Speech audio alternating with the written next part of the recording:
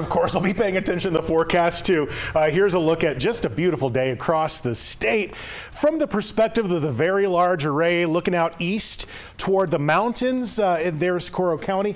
You know, this is what we expect to see and often what we do see when there is no moisture to work with in the atmosphere.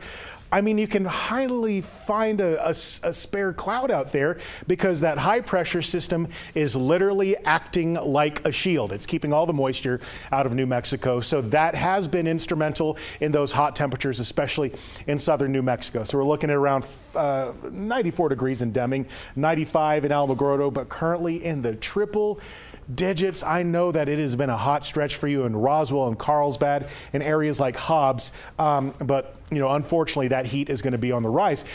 The difference in the northern area of the state is some cooler air has moved in.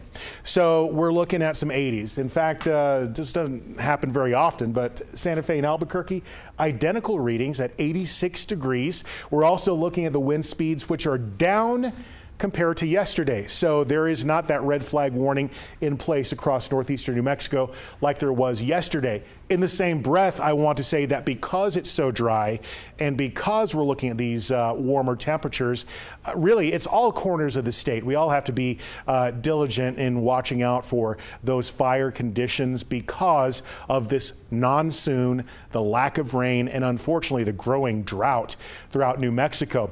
And uh, talking about drought, high resolution futurecast for the next few days through Thursday afternoon can't find even a speck of rain on the predictions. So that is kind of what I mean when I say we're in for a very dry and hot stretch across the state. In fact, by Thursday, we're going to be looking at the possibility of record breaking heat. But first, for tonight, looking dry and mild across New Mexico.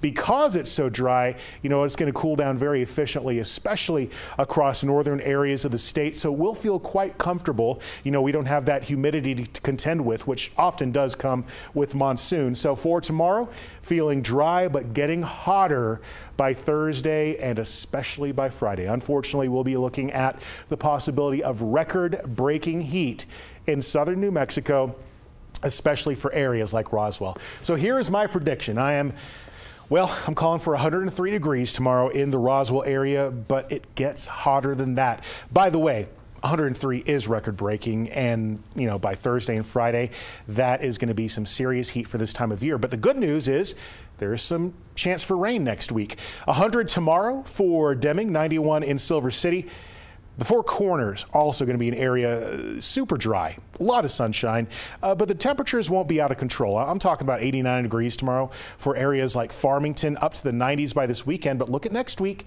those highs back into the 80s. Going to be getting some cold front action moving into the state. Across the North Mountains for tomorrow, 76 for Red River, about 78 in Angel Fire, everywhere else in the 80s uh, and some 90s out there. 90 degrees, by the way, for Thursday in Santa Fe, but cooling down by next week. 93 for Santa Rosa, and I'm calling for the East Mountains also to have kind of a warm day. I mean, we're already going to be breaking into the 90s for areas like Moriarty and Estancia, getting pretty close in other communities. But from Belen to Bosque Farms, the heat is back on. That goes for the South Valley and many locations across the Albuquerque Metro. But in Rio Rancho, that is an official prediction of 96 degrees by Thursday, almost identical for Albuquerque by Thursday. But look at next week. Rain chances and cooler temperatures, so hopefully that gets us through the hot weekend.